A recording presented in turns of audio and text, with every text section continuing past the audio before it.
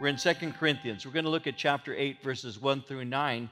And um, I'll begin reading at verse 1. I'm going to give you a prolonged introduction. I know that's unusual, but I'm going to give you a prolonged introduction to lay the foundation for this.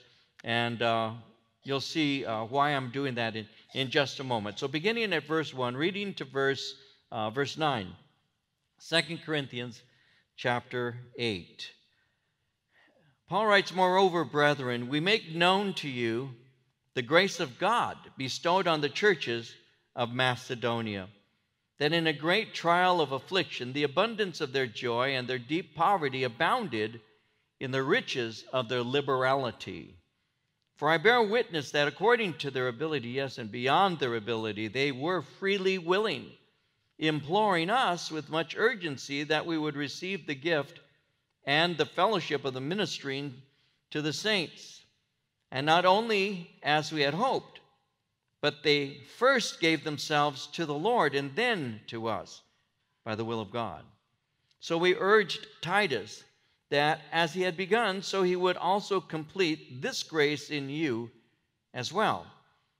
But as you abound in everything, in faith, in speech, in knowledge, in all diligence, and in your love for us, see that you abound in this grace also.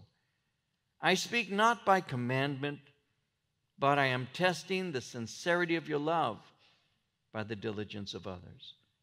For you know the grace of our Lord Jesus Christ, that though he was rich, yet for your sakes he became poor, that you, through his poverty, might become rich. So in chapter 8, and chapter 9 here in Second Corinthians, Paul turns to a new subject. And the subject that we're going to be looking at in chapters 8 and 9 will be a collection taken for poor saints in the city of Jerusalem. So, in order for us to understand this, what's the purpose of this? Why would he insert this in this particular portion of his letter? In order for us to understand this, like I mentioned a moment ago, uh, let me lay a foundation. We need to develop a, back, a background. We need to remember that the church, even as we celebrated Pentecost Sunday recently, we need to remember that the church was birthed on the day of Pentecost in AD 33. Almost from the beginning, almost from the beginning, church, the, the, the believers in church had a financial need. They needed help.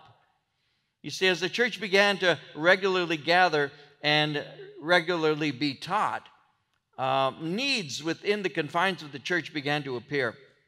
From the beginning, the church developed identifiable organizational structure. The believers, according to Acts 2:42, following, the believers remained steadfast in the apostles' doctrine and fellowship, in the breaking of bread and in prayers. They, they maintained consistent fellowship. Members, as they did so, began to be recognized as genuine. So, as they were doing these things, as they were in fellowship and, and, and growing together, getting into the word and prayer, there were people who began to be recognized as the genuine article. They were really believers. And, and uh, as this was taking place, uh, it, it, it helped them to love one another. It helped people to, to, to begin to see that God was moving in the midst of this, this group called the church.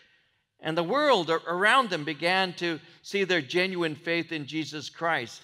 And, and the church actually, you might find this interesting, one commentator put it like this the church actually became an ideal society that truly cared about others.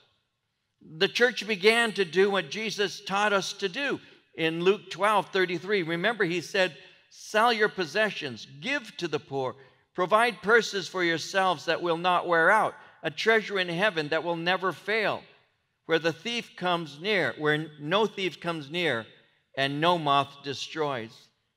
So the church actually became a family of believers who, who died to self interest and died to competition.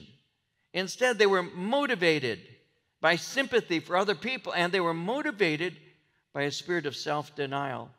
When you read the, the history of the early church and look at Acts 2 44 and 45, it says, All who believed were together, had all things in common, sold their possessions and goods, divided them among all as anyone had need. So the obedience to the teachings, the fellowship, the prayers produced generosity in the believers. And the church rallied to the support of their Christian family members who would be in need. It became an obvious element of the Christian faith. It also became part of how they responded to real, genuine needs in the church. Again, in Acts chapter 4, 34 and 35, it says, There were no needy persons among them. For from time to time, those who owned lands or houses sold them, brought the money from the sales, put it at the apostles' feet, and it was distributed to anyone as he had need. So the church continued to grow. And as the church continued growing, needs began to increase in the fellowship. So as you're going through Acts chapter 2, 3, 4, 5, when you get to chapter 6, Acts chapter 6 records the selection of seven men for the distribution of goods for widows who had genuine and real needs. Church structure had been put into place to meet the needs of those who were poor. But financial needs became a continuing condition in the church of Jerusalem. And though believers were spiritually rich in Jesus, financial concerns remained. Now, what contributed to this poverty? How did that take place? Well, you can see how that takes place by looking at the book of Acts. Uh, when you look at Acts chapter 11, for example, that chapter reports something occurred uh, during that time. It was uh, approximately AD 46. And Acts 11, 27 through 30 says it like this During this time, some prophets came down from Jerusalem to Antioch. One of them, named Agabus, stood up and through the Spirit predicted that a severe famine would spread over the entire Roman world. This happened during the reign of Claudius. The disciples, each according to his ability, decided to provide help for the brothers living in Judea. And this they did, sending their gift to the elders by Barnabas and Saul. So a famine had come. People were in a lot of need. And so that began in around 46 AD. In AD 51, the church was still in need. That's referred to when Paul met with the apostles Peter, James, and John. Because when you, re- you read Galatians 2 9 and 10, uh, Paul said, James, Peter, and John, those reputed to be pillars, gave me and Barnabas the right hand of fellowship when they recognized the grace given to me. They agreed that we should go to the Gentiles and they to the Jews. All they asked was that we should continue to remember the poor, the very thing that I was eager to do. Now, moving on, in, in his first letter to the Corinthians, Paul closed with a call to help poor believers. In 1 Corinthians 16, 1 through 3, he says about the collection for God's people Do what I told the Galatian churches to do. On the first day of the week, each one of you should set aside a sum of money in keeping with his income, saving it up, so that when I come, no collections will have to be made. Then, when I arrive, I will give letters of introduction to the men you approve and send them with your gift to Jerusalem. The believers had become impoverished. There were members of the church who were poor. How had this happened? Well, one I mentioned a moment ago the famine that had hit. But you might find this interesting too. Many, when they became Christians, well, many Jewish believers were disinherited by their families. Jesus had made that clear. This is going to happen. In Matthew chapter 10, verses 34 through 36, he said, Do not think that I came to bring peace on earth. I didn't come to bring peace, but a sword. For I have come to set a man against his father, a daughter against her mother, a daughter in law against her mother in law. Man's enemies will be those of his own household. And so, when these Jewish people came to faith in Messiah Christ, Jesus, what they did is they lost everything, all support. So the famine hit, but also families began to be, people began to be disinherited by family members. And on top of that, when you look at Acts chapter 8, uh, according to Acts chapter 8, verse 1, a great persecution hit the believers in Jerusalem.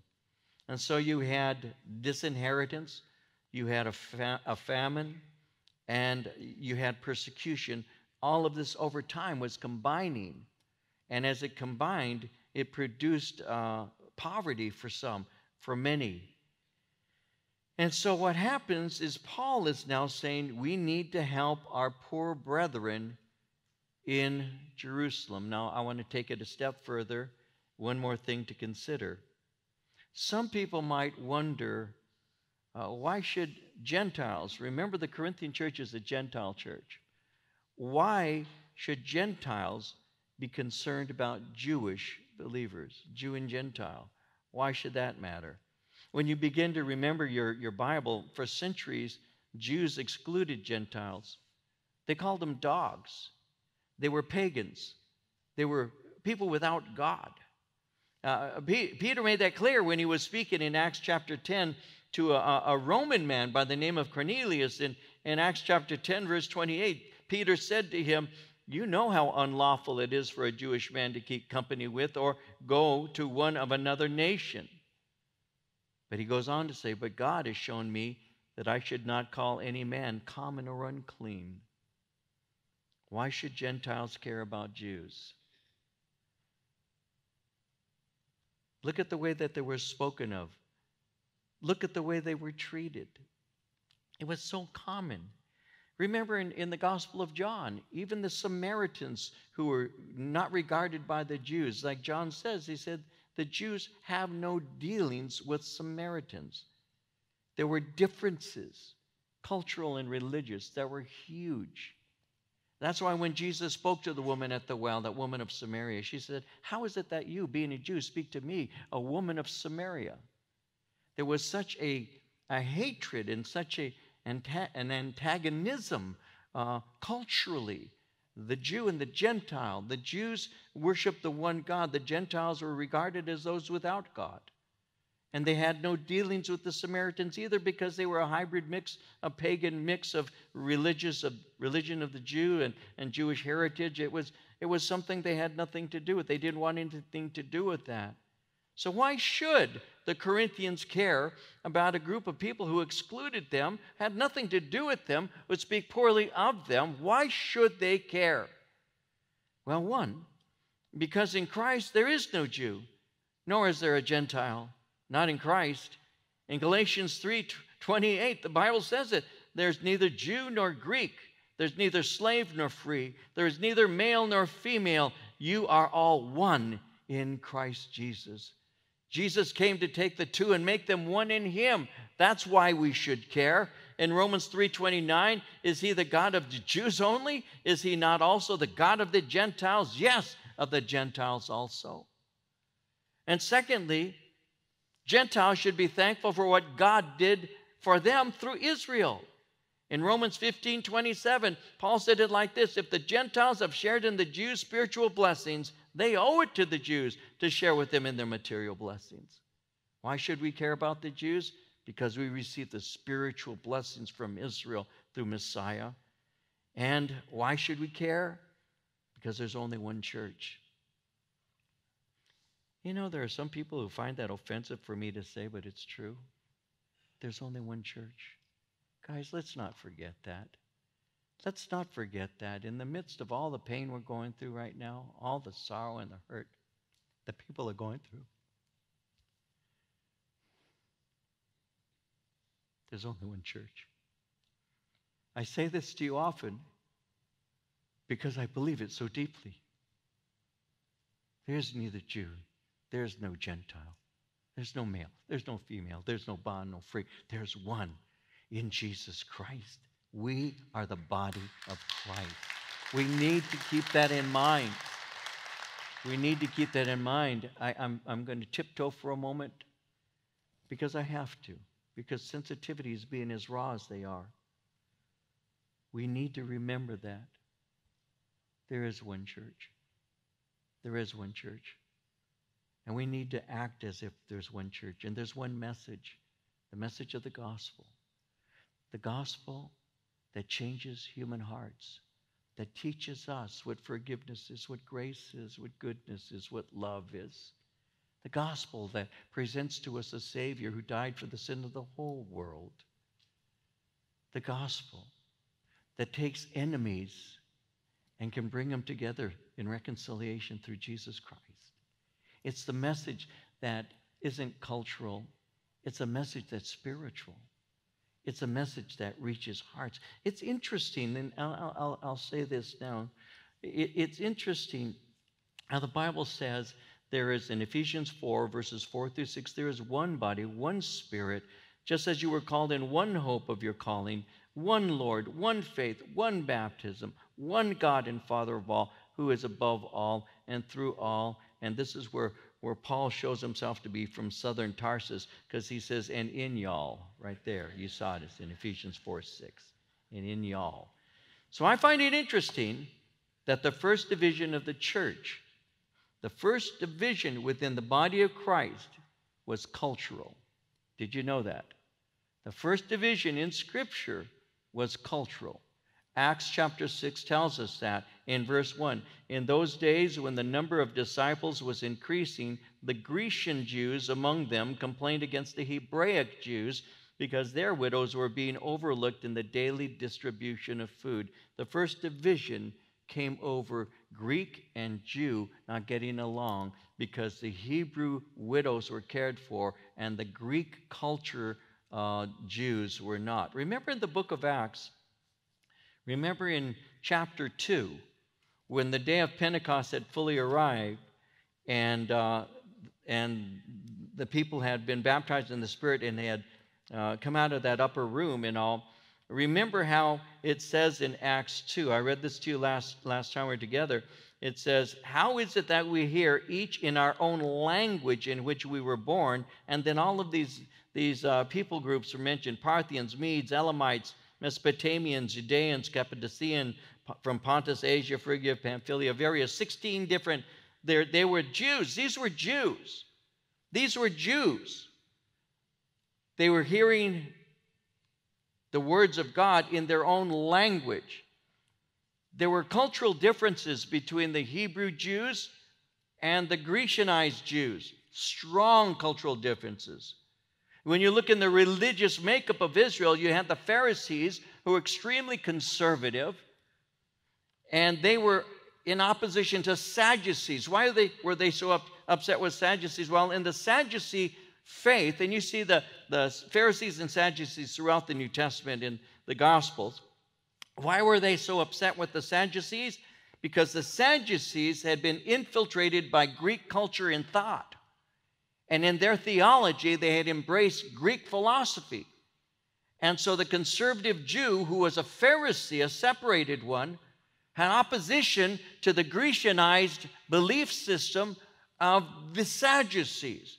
The Sadducees didn't believe in angels or spirits, they didn't believe in the resurrection. And that was against the pillars of Judaism. And so the, the um, social, cultural Pharisee conservative had a problem with the liberal Sadducee. And so that was early on in the history of, uh, of Israel prior to Jesus coming to the face of the earth and ministering. So when these when the Holy Spirit fell upon the people there, there are all of these people from language groups and culture groups that are being referred to, and the first division that took place in Acts chapter 6, verse 1 was a cultural division. The Jewish believers thought themselves to be superior to the Grecianized ones, and it caused a lot of problems. So much so, that's the first division that you find in the church. The Jewish believers who were culturally Greek were treated as second class citizens, and it caused division. But in Acts 4:32 it had spoken of them as being of one heart and one soul, but now division threatened the church. How did the apostles deal with that? Well, the apostles said that their job was to pray, to give themselves over to the word of God, and they said select spirit-filled men to handle this problem. And that's exactly what they did. There was a practical problem that was handled in a spiritual way. Why is that important? Remember that if a house is divided, it cannot stand. And remember that Satan is trying to divide the house. He always has. It's his oldest tactic to get believers mad at each other to get us arguing amongst ourselves, to get us trumpeting a cause that doesn't save a soul. And that's what happens, guys. Be very careful. Be very careful that you take your beliefs and wash them with the blood of Christ. Be very careful to remember there's no Jew, there's no Gentile. We're just one in Jesus Christ. Out of the two, he made the one new man, Paul says, the believer. That's what we are. You may love whatever culture you come from. I love mine. I love mine. Somebody said to me, if just the other day, they said, Pastor David, if you had to give up spaghetti or tacos, which would it be? Duh. Is that a real question? You love what you love, and that's okay. There's nothing wrong with that, right? But would we divide over that? Would we divide over something that is my culture and not spiritual? Should we? But people do. They get angry over things like that. They get angry over things like that. And as we bicker amongst ourselves and argue amongst ourselves, as we divide ourselves, the lost continue parading to hell. Continue in their parade to hell while the church is so busy arguing who's been hurt the most or who's been blessed the most. Guys, please be careful. I hope I'm not offending you. But as a man who loves you, a pastor who's willing to tell the truth, I'm telling you the truth. Keep your eyes on Jesus Christ in this time. You have to, because he's the only hope, because he changes hearts. Don't forget that. Don't forget that. Don't forget that.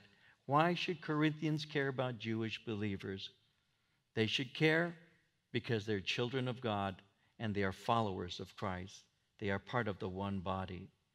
So Paul is using this. This is your backdrop to why it's important to, to have this offering taken to the believers because they're impoverished. And that's what Paul is, is speaking about, and, and that's what Paul is speaking concerning.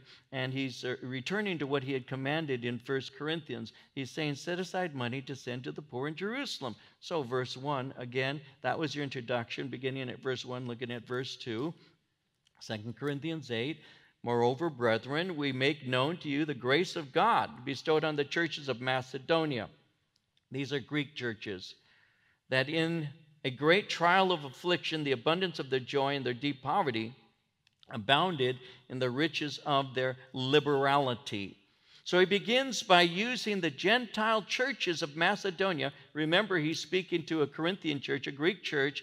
He's speaking to uh, them using the Gentile churches of Macedonia, and Greece was part of what today Macedonia would be north of what we know as Greek, Greece, and it goes all the way up into Yugoslavia and all. So this is um, an area that's general for both of them. The Corinthians would have been in the southern area; these are northern. And he's speaking of the Philippian church and the Berean church and the Thessalonican church, and that's what he's speaking related to. And he's using them as examples of, of, of caring and giving.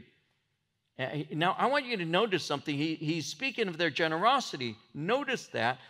He's speaking of their generosity. Again, we make known to you by the grace of God bestowed on the churches of Macedonia that in a great trial of affliction, the abundance of their joy and their deep poverty abounded in the riches of their liberality. He's using them as an example of generosity to provoke them. Now, he's not doing this to encourage competition, some carnal response from them. He's utilizing their generosity as a godly motivation for them to emulate their faith.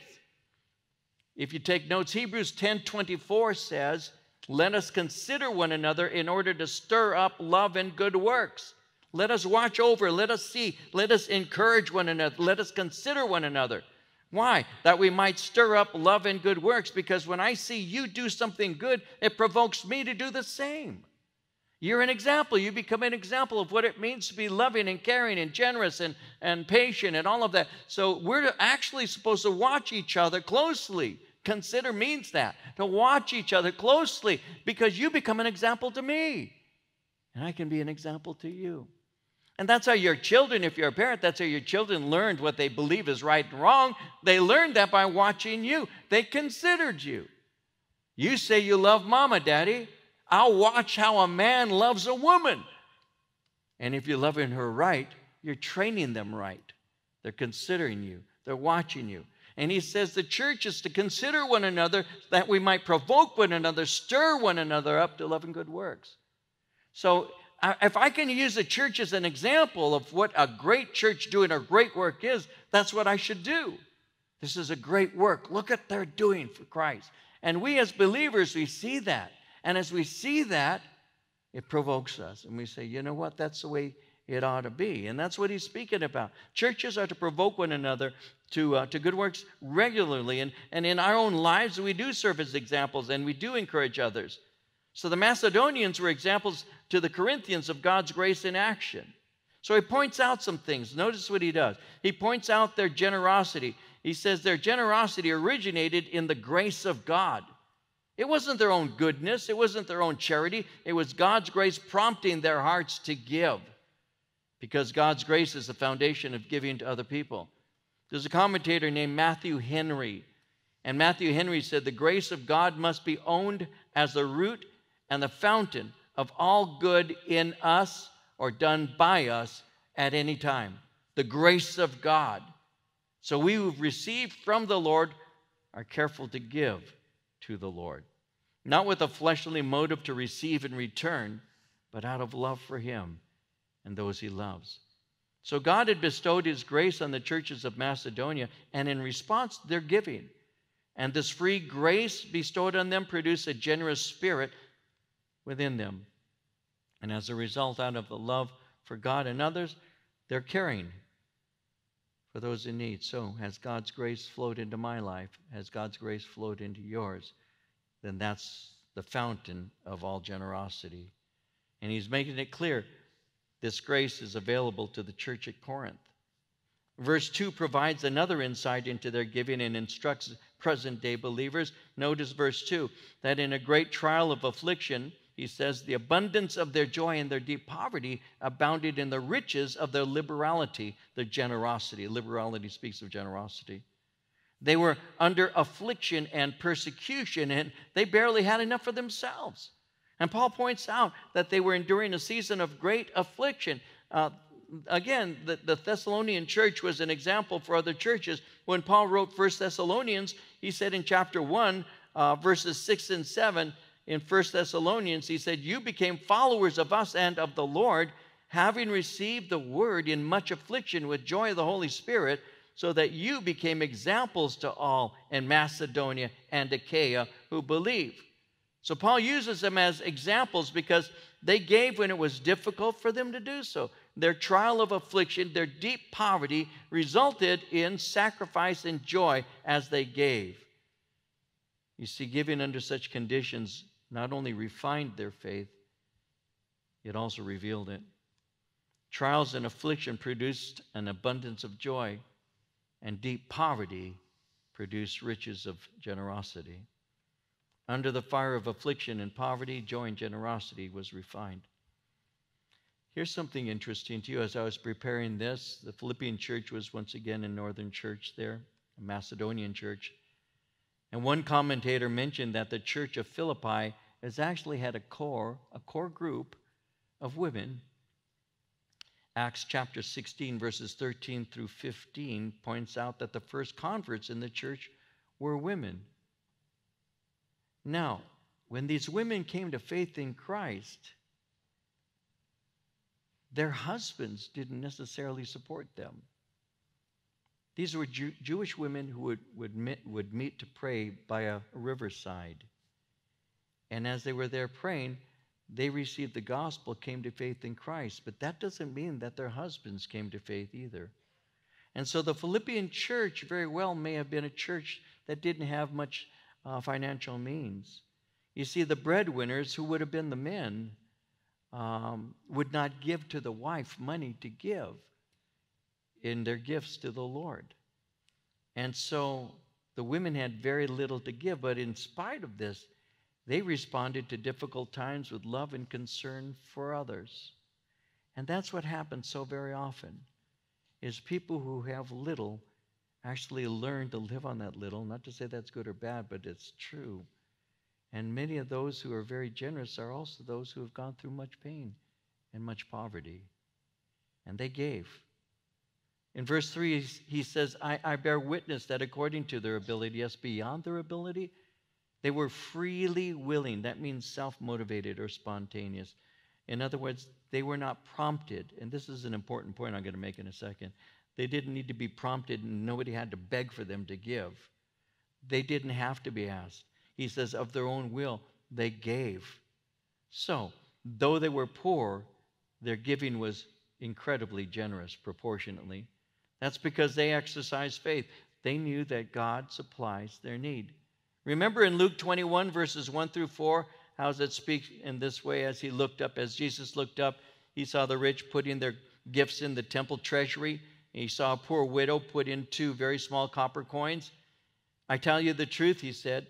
This poor widow has put in more than all the others. All these people gave their gifts out of their wealth. She, out of her poverty, put in all she had to live on. These people spontaneously gave without being begged because of their faith and their love for the Lord. And again in verse 3, they were, he said, freely willing. They were, somebody said, they were freely willing because they were free to be willing. And Jesus had, had set them free from the normal self centered way they at one time had lived. They were no longer slaves to sin. They were no longer in bondage to selfish fears. They were now seeking God's kingdom, and they believed that the love of money is a trap. Remember Ecclesiastes 5:10, whoever loves money never has money enough. Whoever loves wealth is never satisfied with his income. This too is meaningless. When the uh, COVID virus, COVID 19 hit, did you see the, the uh, stock market tank? 30,000 points went down to like 19,000, 11,000 loss. That's, they said that it was even greater than the time of the Great Depression. Such a loss, such a quick spiral. And, and those who were relying on the finances like that saw them drying up right before their eyes within a matter of just a few weeks. Economies began to crash, and a depression was threatened. And, and when you put your trust in money, that's exactly what happens. That's what they're saying here. Whoever loves money never has money enough. Whoever loves wealth is never satisfied with its income. This too is, is meaningless. It, it can sprout wings and fly away. And that's what happens. They didn't have that attitude. What they, what they did is they loved God. They gave because they loved God, and they gave because they cared about people. In Acts 20 35, Paul said, I've showed you all things how that so laboring you ought to support the weak and to remember the words of the Lord Jesus, how he said, It is more blessed to give than to receive. In verse 4, he says, imploring us with much urgency that we should we would receive the gift and the fellowship of the ministering to the saints. And so they were urgent in their giving. They were motivated by love, motivated by concern. They insisted on giving. It reflects a knowledge of, of God that is mature. When you're generous, it shows that you understand grace and love. But here's what's happening these poor people were giving. And when these poor people were giving to help the Jewish church, Paul had an accusation lodged against him because Paul was receiving the offering to give to the poor. And so I've been sharing with you in Second Corinthians that there's a whole list of accusations. If you take notes, some of you may have been. This is what is the 15th accusation that Paul addresses in this letter. And the accusation Paul takes advantage of the poor. He uses guilt to secure their money and his power. That was the accusation against him. So Paul makes it clear this is not the case. He says they gave of their own free will and they gave out of love. It was they and not Paul who was who were doing the begging. They implored us to receive he said, We are not taking advantage of them. They're asking us to take this and to give. He says in verse 5 This they did, not as we had hoped, but first gave themselves to the Lord and then to us by the will of God. And that's the key to giving. Because when God has your heart, He has all of you. They had what we call a, a, heavenly mindset. It's been said that my wallet has a chain, and the chain in my wallet is directly attached to my heart. And when God has my heart, He's got my wallet. But when He doesn't have my heart, He can't have my wallet. There are quite a number of people who feel that way. Uh, that little boy who went to church, mother gave him a quarter and a dime, and she said, The dime is yours, but the quarter uh, is, is for the offering. So give your offering.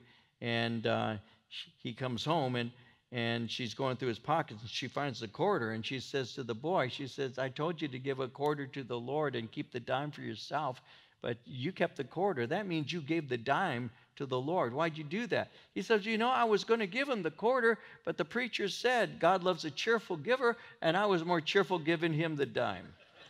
and that's kind of how people are sometimes. I'm more cheerful giving the little instead of the lot. Well, in Matthew chapter 6, 19 through 21, lay up, lay not up for yourselves treasures upon earth, where moth and rust does corrupt, and where thieves break through and steal. Lay up for yourselves treasures in heaven, where neither moth nor rust does corrupt, where thieves do not break through nor steal. Where your treasure is, there will your heart be also. When something is when something is stolen from you, how do you feel? That's what Jesus is saying. Where's your heart? not saying that it's a good thing to steal. He's speaking about my heart. How do you feel? How do you respond to that?